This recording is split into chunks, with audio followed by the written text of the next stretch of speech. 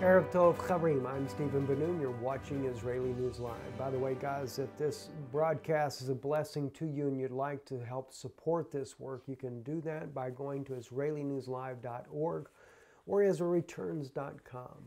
Uh, also, our address normally appears at the end of the broadcast. Uh, at any rate, kind of still very, very sick, guys. I apologize for that, but there's just very serious things happening that I need to get your attention to, and that's why we're here. Uh, Russia, this is actually about five days old. This report here came on the, uh, the express.uk. Uh, Russia issues stark warning to Ukraine for proposed missile launch above the annexed Crimea. Uh, tensions in Eastern Europe continue to mount after the Ukraine military looks uh, sets to fire missiles into Russian airspace near Crimea, a move which has been condemned by the Kremlin. Again, it was done by Harry Walker on November 26th. Uh, this here is uh, official Russian statesman right here, uh, Izvolsky. Uh, he condemns the military actions there that they're talking about doing in this test firing of this of this military missile there. So he says here has already sent its request to the aviation authorities so that they can immediately remove all the bans and revoke their decision. Um, let me just turn the volume down just a tad bit here. Uh, but anyway, he says that uh, he believes the attempts to activate restricted zones are inadmissible, uh, especially in order to conduct military exercises on the territory of another state. Uh, we reminded the Ukrainian side that all such actions must be agreed with the Russian Federation, at least regarding the open space above the sea. Uh, he continues on uh, in saying uh, this did not happen.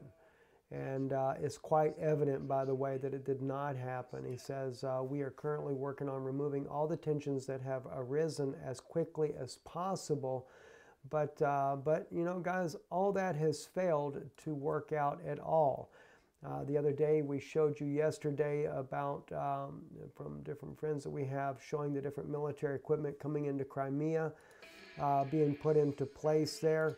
This is another example of it right here. These are the S 300 missile batteries that are being moved uh, into place in Crimea, preparing for these missile launches there that uh, Ukraine is planning on doing.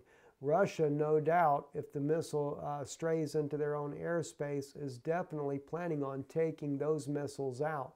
That seems to be very evident by the military power that Russia is moving into Crimea. This did come in through Kursk, there, uh, the, uh, the border city there with Russia, where there's a uh, way to bring goods over via uh, barges there.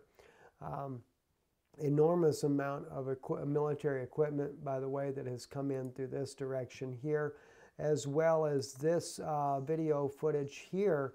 Another convoy of military equipment Russia is moving in. Russia is anticipating that Ukraine uh, may be try trying to provoke uh, or really escalate a situation that could really turn out into an all out war.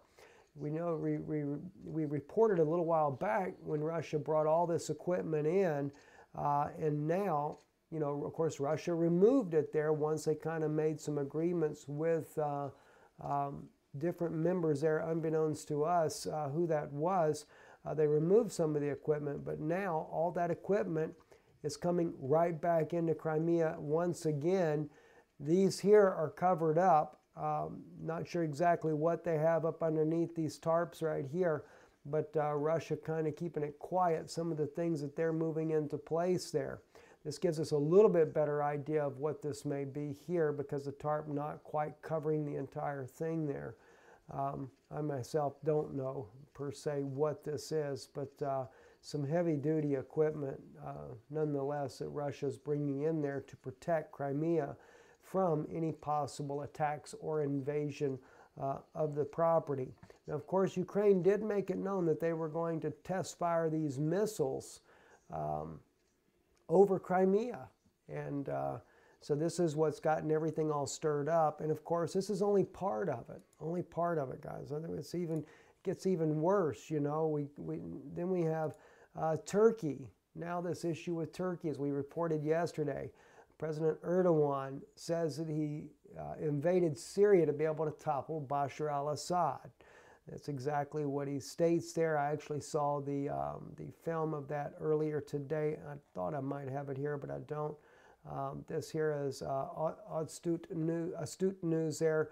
Speaking about this today, President Erdogan of Turkey has issued a statement saying his troops, troops have entered Syria with the intention of ousting President Assad. Now, I just got confirmation a few moments ago, though, that Vladimir Putin has been on the phone with Erdogan. He is trying to get confirmation of what his intentions really are because Putin is there to protect President Bashar al Assad. So, is there going to be an escalated confrontation there?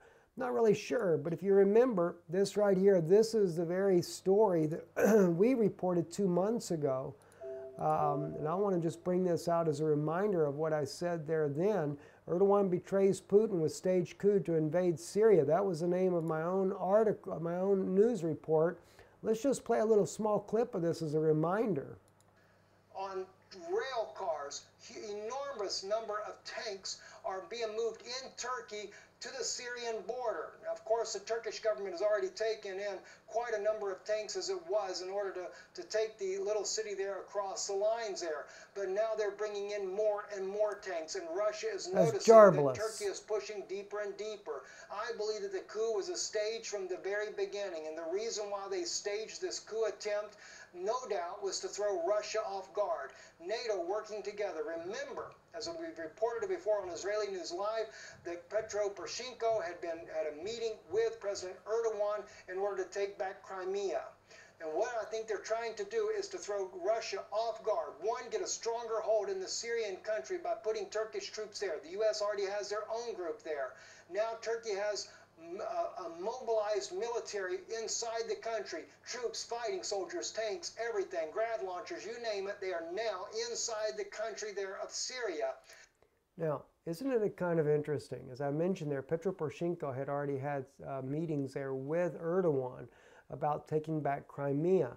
And at the very moment that Erdogan is announcing that he had came to Syria to be able to take and topple Bashar al-Assad, we're also seeing that Ukraine is planning on launching these missiles on, uh, I think, I don't know if it's December 1st or December 2nd, uh, just within either tomorrow or the next day there. And so Russia is having to rapidly deploy a lot of uh, defensive measures there in Crimea.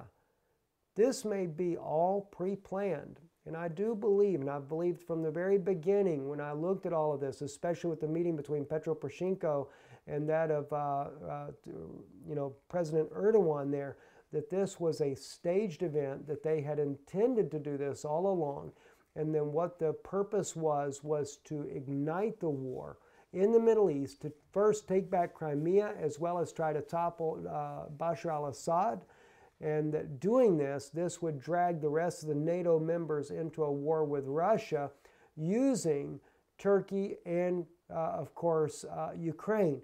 Turkey being the NATO member that the NATO states would be obligated to protect once they enter into a war with Russia. But of course, Ukraine and Turkey working together in order to ignite the conflict. And I think that's exactly what they're about to do. It's just too odd, this, the timing of these events here. And that's what I noticed myself in, in seeing these things. So, anyway, another thing here too Erdogan urges Muslims to protect Jerusalem.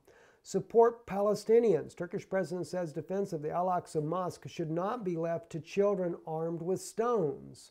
Well, that's another issue right there that lets me know that Erdogan is not just going to limit this to Syria, but I do believe, as I stated in our report last night, I've stated it many times before, eventually they're going to take the war to Jerusalem because they want to take and oust the Jews that are living in Jerusalem. Now, it doesn't mean that they're not going to build a third temple on the Temple Mount. Sure, they are. In fact, um, I got an email, uh, I don't know if I got it today or when, but. Uh,